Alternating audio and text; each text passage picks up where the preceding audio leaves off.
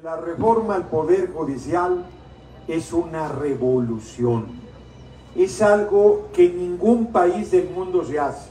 Hay países que eligen algunas personas juzgadoras, pero en México vamos a elegir a todas las personas juzgadoras, jueces, mujeres y hombres, todas en las urnas. Todas son todas. Desde juez federal hasta los ministros, ministras de la Corte. Y eso va a ser muy importante. La derecha dice, pero ¿cómo el pueblo va a saber? Pues lo mismo decían los de las mujeres. No querían dejarlas votar. En 1953 apenas votaron por primera vez y decían que estaban preocupados, que si iban a saber decidir, que si tenían los elementos. En 1955 por primera vez votaron una elección federal general y hoy por primera vez en 200 años de la República tenemos a una mujer presidente de la República, a nuestra compañera Claudia Sheinbaum Pardo, compañera presidenta. Nos habíamos tardado. Entonces el que puede lo más puede lo menos. El pueblo puede elegir la presidencia, que es el órgano, el cargo más importante ¿Cómo no va a poder elegir a un juez pedorro? Yo, francamente, se puede. Lo de los ministerios públicos va a ser un segundo momento. Ya anunció el compañero presidente que va a haber una reforma a la Fiscalía General y por lo tanto a los ministerios públicos. Ahí también va a llegar. Porque dicen que queremos controlar el Poder Judicial. No, lo que queremos es justicia. Justicia a secas que no existe. Fíjense, el corazón de la reforma es que se van a elegir todas las personas juzgadoras por voto universal, secreto y directo. Ya comentaba Leida que hay dificultades técnicas porque hay lugares como la Ciudad de México que la concentración de personas juzgadoras es muy grande y entonces son muchísimos los candidatos y se está revisando cómo hacer fácil la realización de la elección. Los ministros de la Corte se reducen de 11 a 9 elegidos por el pueblo sin reelección. Se acaba la pensión vitalicia, nada de pensión vitalicia como existía antes.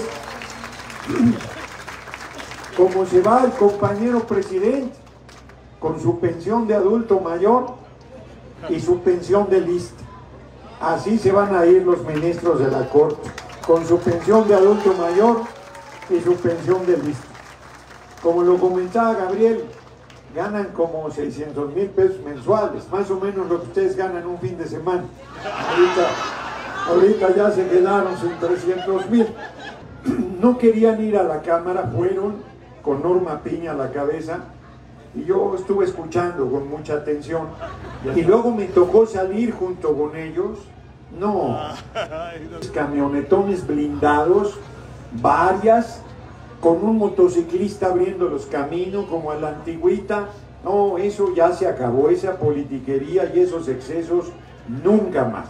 Así es, nueve ministros elegidos, cinco mujeres, cuatro hombres, los magistrados del Tribunal Electoral y magistradas del Poder Judicial de la Federación elegidos por el voto del pueblo. Los, el órgano de control que aquí ya se comentó, elegido por el pueblo. Y los jueces dicen que la carrera judicial va a seguir. Los jueces, mujeres y hombres, se van a elegir cada nueve años. Y si quieren seguir, pues los tendrán que reelegir a los nueve años. Ahí sí va a haber reelección hasta que hasta el último día de sus días si así lo deciden. Así es que la carrera judicial va a permanecer. Como lo comentaba Leila, ¿de dónde vamos a sacar a las personas juzgadoras? Pues ni modo que las traigamos de Marte, pues los que ya están. Muchos de ellos van a participar y muchos de ellos van a seguir. Y alguien dirá, ¿y entonces de qué sirve que los elijamos?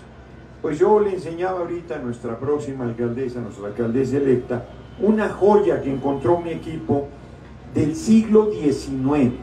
No mucha gente sabe que en el siglo XIX los ministros de la corte, eran todos hombres, se elegían por voto y directo. El más grande presidente, Compañero presidente, larga vida el compañero presidente López Obrador, es un chingón, es un hombre excepcional, es un gigante. Yo en lo personal creo que el más grande presidente que ha habido es Benito Juárez García, pues está muy cabrón la verdad Benito Juárez García. Y él fue elegido por voto del pueblo presidente de la Corte. Y cuando se discutía en 1856 la reforma, Sarco, el gran Francisco Sarco, hizo, fue el cronista de ese constituyente, diputado constituyente, dice lo siguiente, el pueblo elegirá entre los abogados más dignos y más honrados, entre los hombres íntegros que son la gloria de nuestro foro por su rectitud y por su fama inmaculada. Y si por alguna vez se equivoca, mandando a un a la corte como suelen mandarlos a otras partes, el mal no es eterno, porque los magistrados van a ser amovibles. ¿Qué quiere decir eso? Que los puedes quitar. La elección y la renovación son excelentes garantías. Los buenos serán reelectos, los malos no se perpetuarán en la magistratura y habrá un estímulo a la probidad sabiendo que todos están vigilados por la opinión pública, por el pueblo y sujetos a su fallo. Con la decisión de la elección de las personas juzgadoras, ni se diga, el pueblo tendrá mediante su voto el control de los tres poderes de la República, judicial, legislativo y ejecutivo. No me alargo más. Yo creo que esta reforma, ya lo dije, ningún país del mundo es así. Ningún país es único lo que estamos haciendo en México. Y este es un mensaje muy importante, porque vamos a seguir avanzando. Yo no tengo duda que nuestra compañera presidente Claudia Sheinbaum Pardo va a ser una extraordinaria presidente de la República. No tengo duda que nuestro movimiento se va a seguir consolidando. Fíjense, no es del foro, pero sí se los platico rápido. Hace rato se reunió el PRI y acaban de decidir que Alejandro Moreno se va a poder reelegir hasta el 2032. ¡Qué! Va a hacer que desaparezca el PRI de manera definitiva. Yo no creo que el PRI llegue hasta el 2032. Así es que qué bueno que acabe, así como los sepultureros del PRD acabaron con ese que fue un partido tan importante, hoy los del PRI acaban de sentenciar a muerte a su partido político y va a acabar por desaparecer y ya nomás nos van a quedar los paniaguados también de darles cristiana sepultura electoralmente hablando.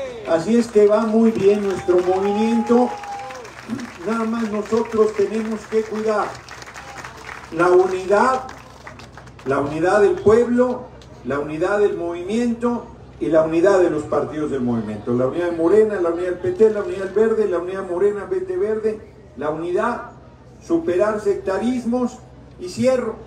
Y que a nadie le espante que somos un movimiento de mujeres y hombres libres y que discutimos nuestros asuntos de nuestra visión política como debe ser.